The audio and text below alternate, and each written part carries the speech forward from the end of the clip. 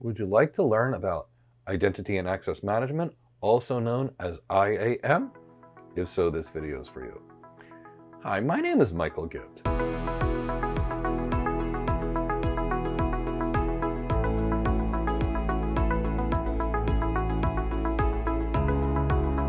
And today we're going to talk about identity and access management.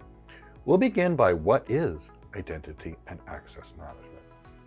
Identity and access management, also referred to as AAA, authentication, authorization, and accounting, is really about identifying a user when they come into the system and making sure they are who they claim to be, determining that user's level of access and giving them access to only what they need, and then accounting or keeping track of what they've actually done.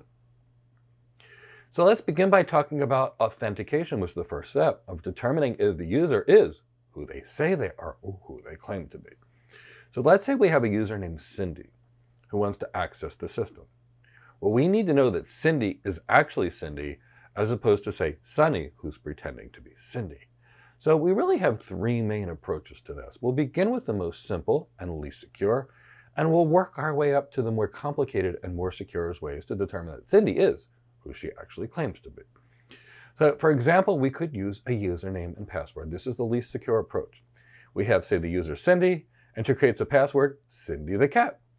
So here's the problem with this approach. It's relatively easy in the grand scheme of things to determine Cindy's password. Either Cindy used a ridiculously silly password like Cindy the cat, or we can use password breakers and, and ways that we can break passwords.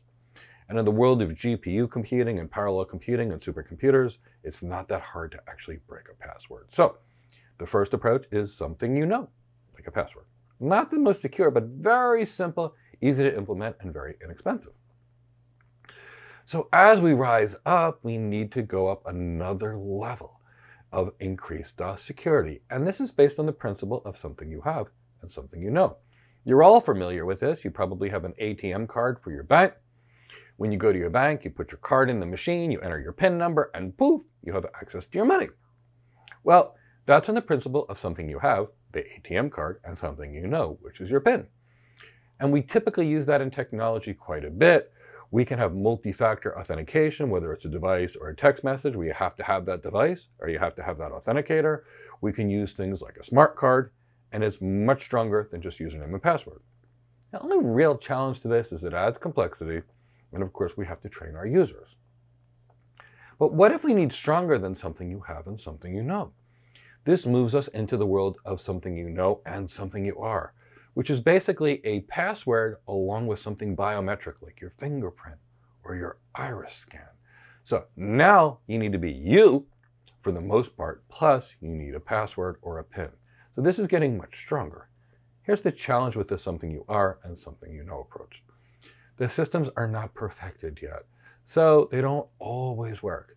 They also add a tremendous amount of complexity so that's its real weakness, the complexity. And if you're going to use something you are, like your fingerprint, and something you know, you're going to need a backup system for when fingerprints, for example, don't work because they're not going to work all the time.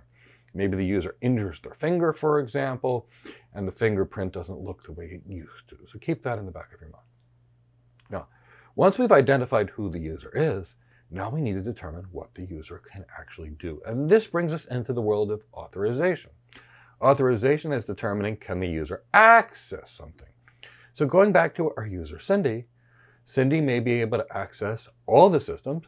Maybe she needs to because she's a systems administrator, or maybe so Cindy is a sales rep and she only needs access to the sales systems. And that's typically what we're doing with regards to authorization. We're determining what the user can actually do.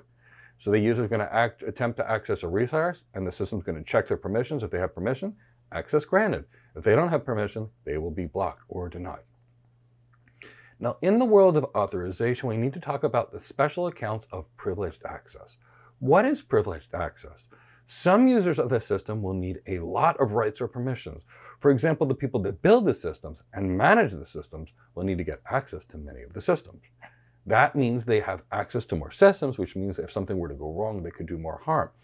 Or if a hacker, say Sunny the hacker, were to steal a privileged user's access, Sunny the hacker could actually cause big problems. So with regards to privileged access accounts, we need to secure them more than traditional accounts. So if we've got a systems administrator, for example, we must use some form of multi-factor authentication or biometric authentication because these accounts are much more critical and they matter so much more. So let's talk about some best practices with regards to authorization. Give users the least amount of access necessary to perform their job. This is referred to as the principle of least privilege. And make sure that if somebody needs access to more things, that we can approve it, request it, give them access, and if they don't need it, remove that access. So let's talk about the last element of identity and access management. That is accounting. Accounting is determined what the user has done. So we had Cindy, she authenticated herself to the system, she's been authorized to access certain resources, and the accounting phase is determining what Cindy actually accessed. Did she access the things she was supposed to? Did she find a way to access things she's not supposed to? So we have to keep track. We also need to audit accounts periodically to make sure that the permissions are correct.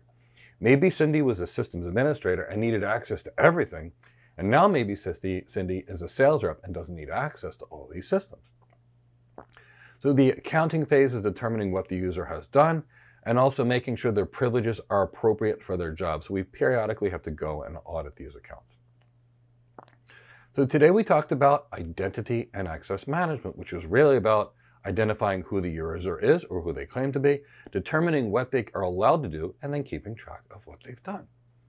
If you're looking to build an architect career, maybe a solution architect or a cloud architect or an enterprise architect or an AI architect, we have a lot of free resources to help you on your architecture career as well as programs to get you trained and hired. You can learn about these free resources, free ebooks, free webinars in the description of this video. If you've enjoyed this video, please give it a like.